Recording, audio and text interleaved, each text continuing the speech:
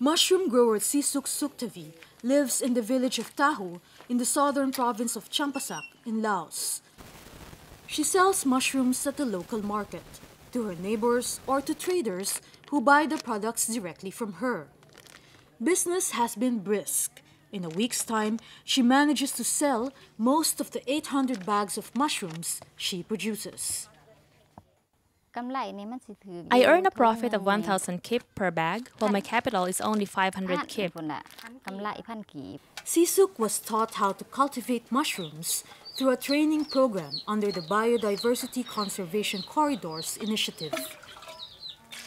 The endeavor aims to provide village residents in Laos with alternative livelihood opportunities. In the past, villagers such as Sisuk used to cut down trees in nearby forests and sold logs to traders, unaware of the devastation this brought to the environment.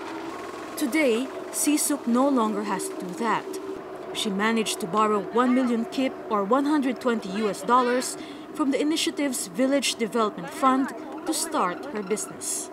Her mushroom business has generated total earnings of around 3,000 US dollars since she started a few years ago. With the money she earned, she bought a truck and is now expanding her home. But the project's benefits go beyond helping local villagers improve their income stream. It has also made them aware of environmental preservation. Sisuk belongs to a group of volunteers from her village who help out in reforestation as part of the initiative.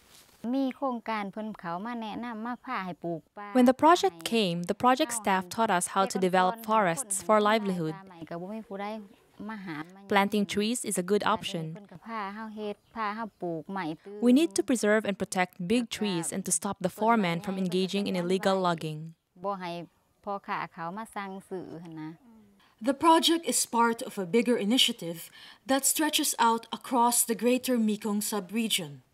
The endeavor also tries to put a stop to the illegal wildlife trade, which threatens to harm the region's environment. This team of forest rangers who work for the project caught a huge snake and a turtle that smugglers were intending to sell to interested buyers outside the country. The smugglers were apprehended, the animals brought back to the forest where they rightfully belong. The project not only provides people a way out of engaging in harmful environmental activities, but also protects the forests and its inhabitants, halting the environmental degradation that threatens to destroy the region's rich resources.